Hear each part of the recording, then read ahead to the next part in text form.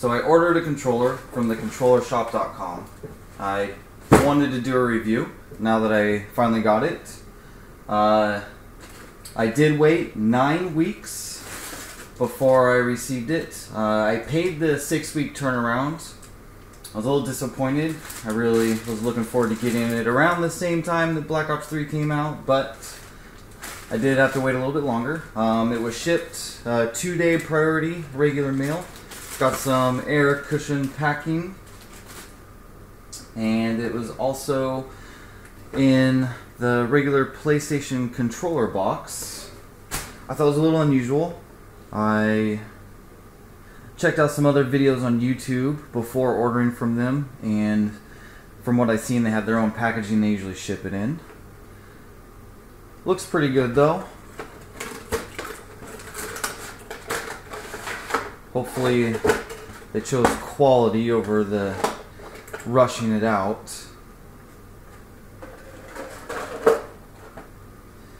Got a little sticker with it. Yeah, and there it is. I got uh, the dark gray, this is large zombie head shell with red blood splattering and a mint green rundown. The clear red thumbsticks and the copper 9mm bullet casing for buttons. Uh, feels pretty good. Looks like the X button is a little bit loose there. But other than that, it feels pretty nice. I don't see any chips or anything. And uh, so the back is the Sure Grip. And then the front is the high gloss finish.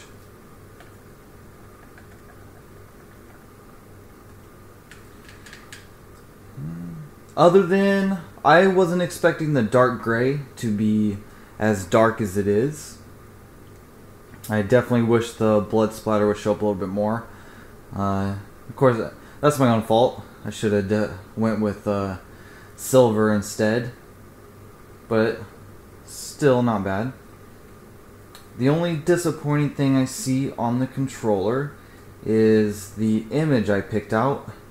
It's uh, kind of like a, a bomb with a fuse mixed with some bubbles coming off of it and some paint drooling down.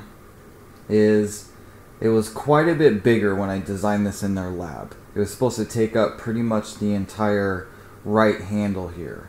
That way the the gold initials that I had on it would be completely behind the white background. And it's kind of oddly placed. I mean, I did have it up where the the right thumbstick is, but it, it was supposed to take up quite a bit more space. So that's a little disappointing. But other than that, I like it quite a bit. I haven't plugged it in, I haven't tried it out or anything. So we'll definitely see how uh, careful they were and how much quality went into it over time. Hopefully nothing falls apart on it or anything. I'm not saying it will. I don't I don't know. But so far it looks really good. Definitely happy with it. Uh, if I decide to get another one through them, I will absolutely think twice about the darker colors because I wish uh, the zombies' heads would pop out a little bit more. But yeah, pretty nice.